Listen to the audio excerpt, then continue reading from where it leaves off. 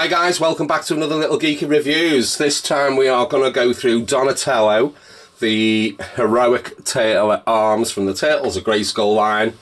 So he comes in this shocking type of pearlised purple.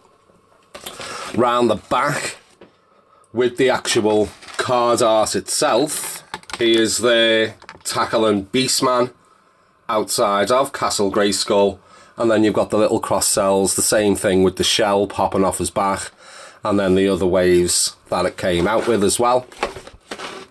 So let's crack this guy open and have a little closer look. So he does come with the original comic with the first wave by the power of pizza we've gone through this one before with the review from leo.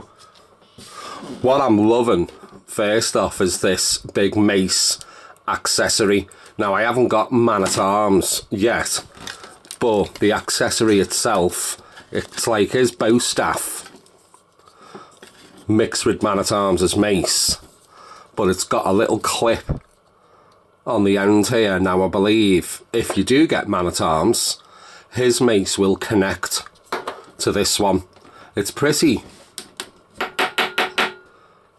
pretty sturdy type of mace as well.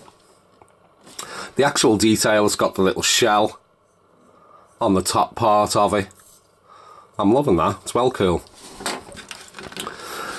The armour on Donatello, although it's absolutely great, I love this colour, it's probably one of my favourite colours.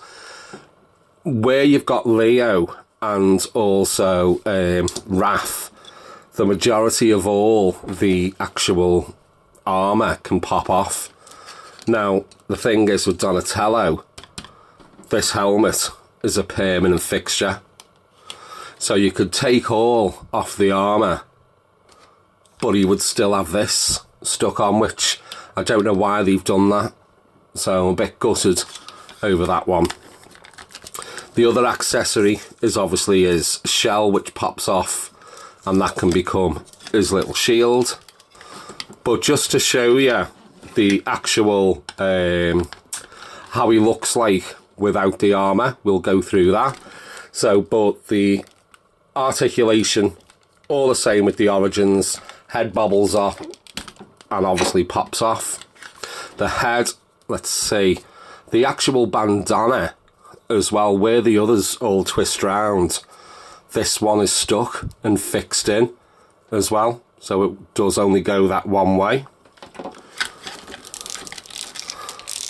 The 360 on the arms and they do pop off so we can slide all of this stuff off as well as we're going. I like his little um, gun cannons, is it? His little laser cannons attached to his armour there. So there he is without all of his armour. I mean, yeah, I think the only thing that does let it down is that the helmet doesn't come off. So, but you can tell the difference with all the different colours where they are keeping that in line. So just bring Raph and Leo back in. So he's more of like, Donatello's more of like a pea green type of look on him. And there he is, back all in his armour gear. So let me know your thoughts on Donatello. Do you think the same way as me with the actual helmet? Or are you alright with the actual helmet being stuck on there?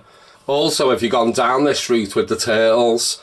Are there only certain ones that you are going to collect? If that be the case, let me know your thoughts, let me know your comments. While you're there dropping those comments, do the usual with like, subscribe and tickle that little bell notification so you don't miss out on any others. But thanks for checking in on this one, and I will see you on the next. Take care.